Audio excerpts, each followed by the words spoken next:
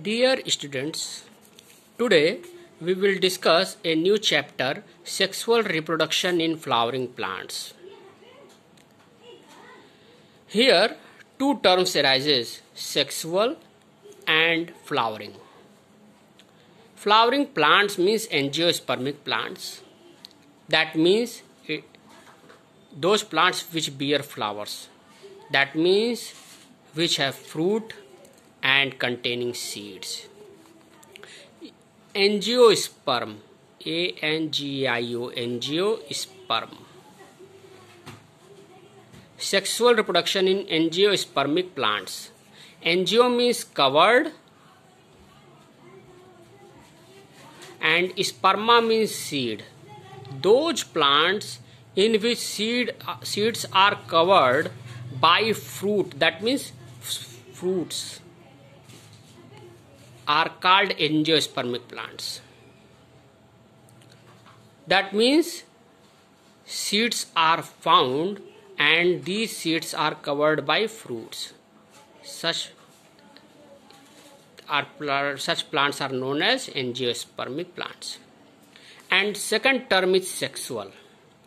Sexual reproduction involves two parents. One is male and another is female.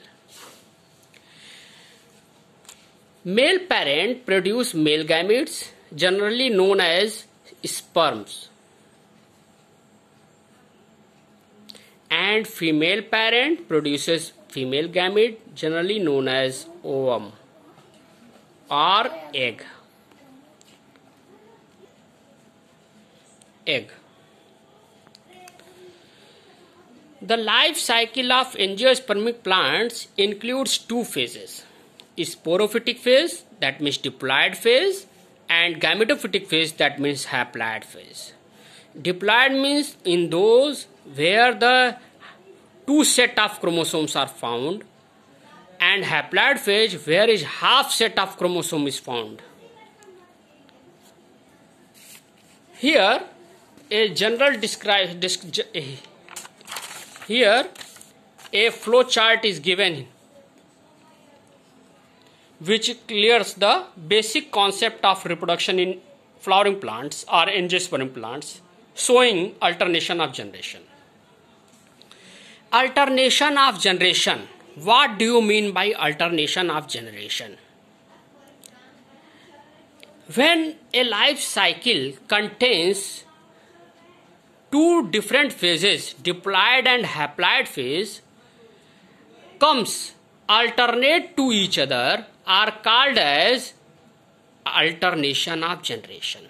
See here a plant. Generally a plant in angiospermic plant is sporophytic that is diploid 2n or 2x. In some books 2n, in some books 2n or 2x is written. now sporophytic plants gives flower. In flower ovary and anther is found Ovary contains ovule. In ovule, megaspores are found. And in megaspore, megaspore is haploid.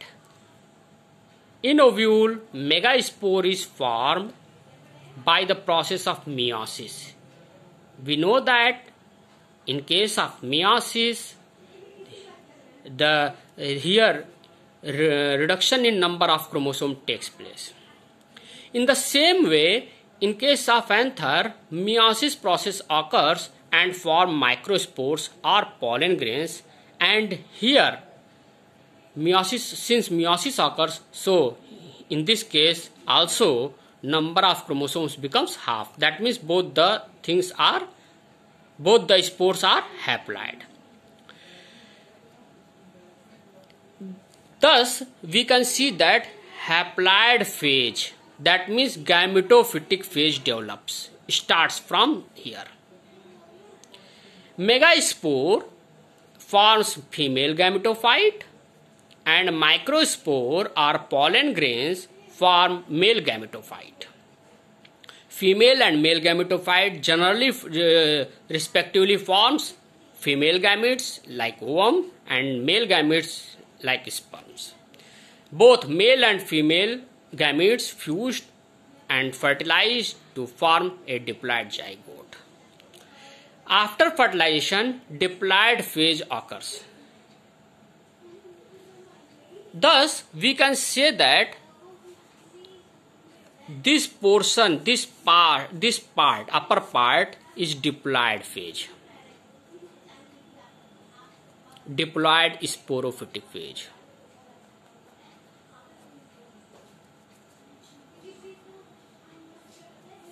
And this part is haploid gametophytic phase.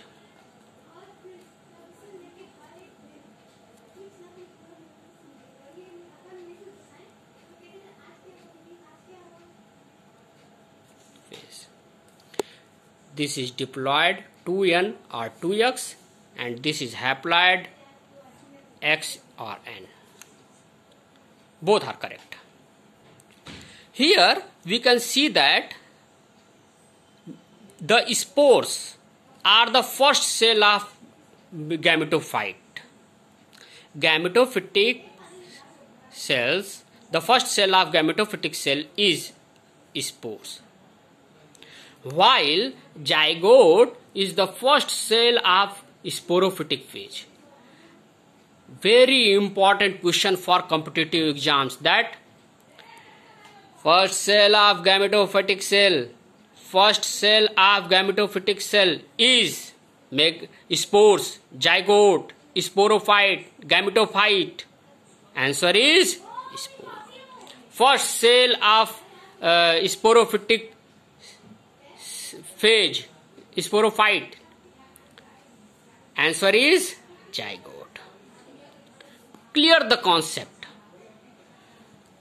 This is the alternation of generation.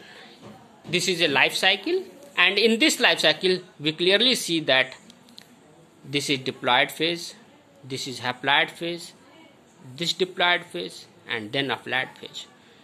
Each life cycle contains haploid, diploid phase, haploid phase, diploid phase, haploid phase, diploid phase and haploid phase and cycle continues.